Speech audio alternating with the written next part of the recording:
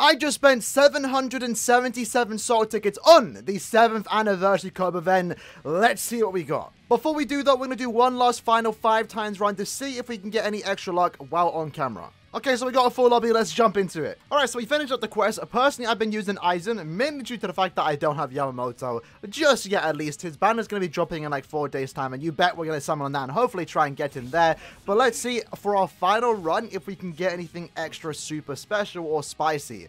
So, moment of truth, let's see what we get. So, we got 77, so a decent droppage there. We got the bare minimum, bare minimum, bare minimum, uh, a decent droppage again once more, so nothing too special, but as far as runs do go, this wasn't really the worst one since we did get a few extra super links or potions.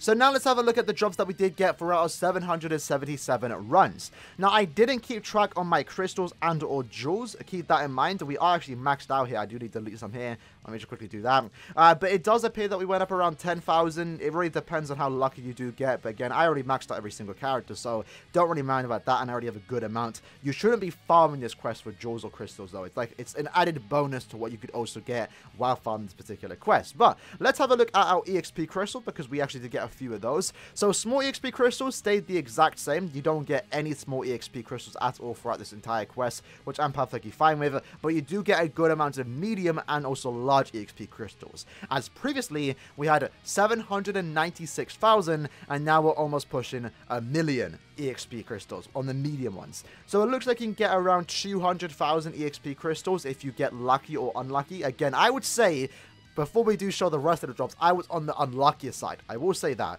But it looks like we got close to 200,000 medium EXP crystals in the 777 runs that we did do. And for our large EXP crystals, we got around 9,000, which is a good amount. Again, you're also getting a lot of other stuff alongside this, and this is definitely going to help kickstart a lot of new accounts. Just get a bunch of easy resources, including the EXP crystals, so then you can max out your characters. Personally, though, I've already maxed out every single character in my box, so I don't really have much usage for these EXP crystals, but I would never complain about having this many in case I ever do need to, you know, max a bunch of characters sometime in the future. Look at our droplets though. Obviously, we are sitting on quite a few droplets. We're almost pushing 200,000 in every single color.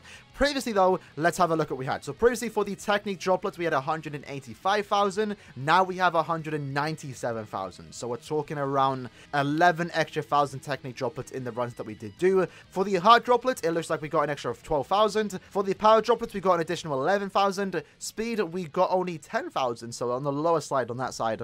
And then for the Mind droplets, we actually got 16,000. So it definitely looks like when it came to the droplet drop rates that we did get in these particular quests, we were getting more mind droplets. I'm not sure if that's a trend, if you're more likely to get mind stuff, but at least for me, I was getting more mind drops than any other attribute, and I believe speed was the less drops that I did get. But overall, it looks like we averaged around 10,000 droplets in every color, besides the mind one that got like the extra 7,000 droplets. Moving on to our link swap potions though, let's look at the base one. So previously, for the Technique link swap potion, we had 66,000 link swap potions. Now we have 77,000. So it looks like that we got around exactly 11k link swap potions. For Heart, we got 15,000 link swap potions. For Power, we got 8,000 link swap potions, so on the lower end there. For Speed, we got 9,000, so once more on the lower end, but a tad bit more than the Power one. And then for Mind, we only had 5,000. So within the runs that we did do, again, 777, we're looking on average around 7,000 link swap potions, but we did get quite a few rainbow link swap potions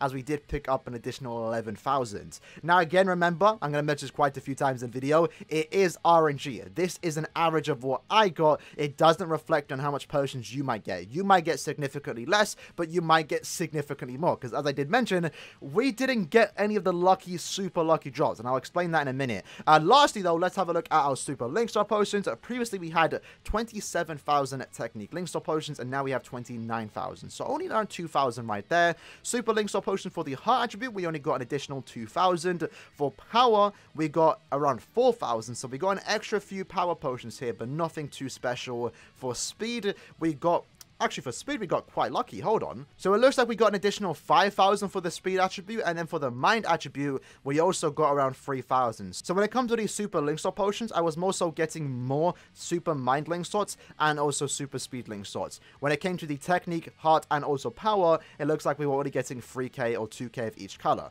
But we did actually get only 100 rainbow super link slot potions. And that's basically all we did get for our entire quest. We did get a few extra Hokyus though, an extra like 1,000 and around an extra 600 Hogyoku wheels in 777 tickets. Now, Overall, was it worth the tickets that I used? Not really, but again, you gotta remember, this quest is super easy. I wasn't sweating this. I wasn't actually just, I wasn't grinding it non-stop. I had the quest in auto, I was opening the rooms when I had time to do, and I was able to do other stuff while actually running this particular quest. If I wanted to farm super link slot potions, if I wanted to farm droplets, or if I wanted to farm, you know, epic raids, for example, where you can get more items per soul ticket, I would have to manually focus on that. I would have to spend more time in-game focusing while playing the game. In this case, though, because the quest is super easy, I was able to casually do it while also doing other stuff at the same time. And that's definitely a nice thing about this quest, and which is why I do recommend farming this quest, because it's super casual. There's nothing going on in the game right now besides this co-op quest that you need to farm.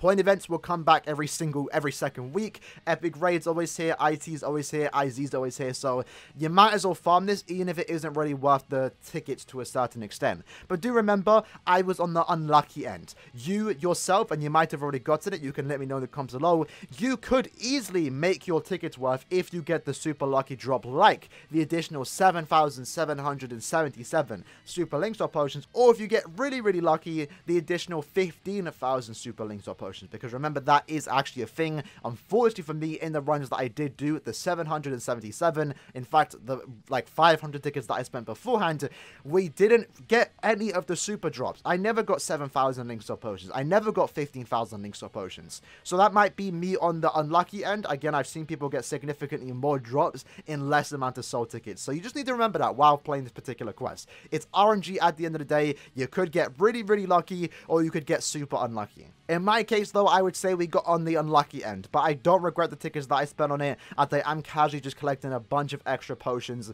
just while ordering a super, super easy quest. For new account, I definitely recommend spending a lot of time in this particular quest, especially because while it's it's true we again only got like 2,000 link slot potions, the super link slot potions, these super link slot potions don't come easy for really new accounts that can't carry, that can't host their own lobbies, that can't join people because they don't have super link slot characters. So I definitely recommend farming this just to get a kickstart some way, shape, or form for Super Link Slot Potions even the link slot potions and droplets too. You're going to find these a lot easier in the future, but as a new account, these are kind of like a rare item, and you're not going to have characters worked up to even use them, so I definitely recommend farming this as a new account. For me, I have a side account, and I'm going to be farming this for basically the rest of the week, because it's definitely worth the time, and again, if you get even lucky and you get the 15,000 super link slot potions, that's going to kickstart and help your account by quite a bit. So with that said, lads, that was the 7th anniversary co quest of my results in 777 tickets. Again, let me know how many tickets you you'll have to spend and how much you've gotten thus far. Again, like I mentioned multiple times in this video, for me, it appears that we got on the unlucky end, but I'm not done farming this quest. Even though I spent the soul tickets and orbs on those soul tickets, now I'm going to casually farm it. Whenever I'm capped out on soul tickets, I'm just going to spend it in this particular quest because I still think it is worth it. You do get a decent amount of rewards, and it's just super, super easy. I'm also going to be farming it on my side account, and I also plan to do 500 tickets on a live stream this upcoming weekend, potentially tomorrow, actually, where we can try and play together and and see if we can also get really lucky. So I hope to see you lads there. But what I said, hope you guys enjoyed the video. I'll see you lads next time. Peace.